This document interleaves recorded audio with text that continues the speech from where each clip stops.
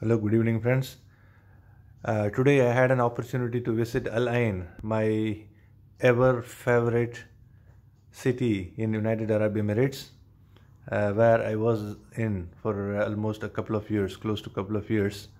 Really, I was getting nostalgic when I was seeing the beautiful roads and uh, accompanied with a beautiful luscious greeneries in both sides of the roads especially the winter already started and temperature got um, reduced and it is pleasant nowadays.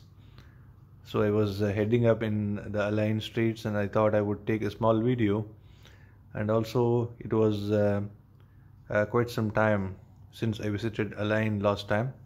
So basically when i visited last time a lot of road works renovation and uh, reconstruction works were going on. Now all of these reconstruction works got completed and it was a very clean looking roads and instead of roundabouts they uh, created uh, signals and it is very much good looking and I was very happy and uh, really uh, pleasant to see Al Ain back again. Uh, time to time I always uh, come to Al Ain because during these pandemic days, despite the fact that going to other Emirates like Dubai, Sharjah, Ras Al Khaimah, Northern Emirates is uh, really a nightmare these days due to COVID test and also the restriction in the travel. Visiting Al Ain, despite the fact it is, uh, you know, 160, 170 kilometers one way, and it is still within Abu Dhabi uh, Emirate, and uh, I was having the pleasure to visit Al Ain again, and you are seeing those roads. Uh, and I had no words when I was entering inside Al Ain. I visited the place where I was residing before.